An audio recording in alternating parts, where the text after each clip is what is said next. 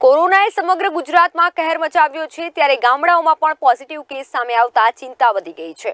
ત્યારે બનાસકાંઠાના થરાદમાં દર અષાઢી અમાસે યોજવામાં આવતો મેળો આ વખતે બંધ રાખવામાં આવ્યો છે. થરાદમાં આવેલા દશામાના મંદિરે અષાઢી માસના દિવસે માતાજીની મૂર્તિની પધરામણી કરવામાં આવી છે.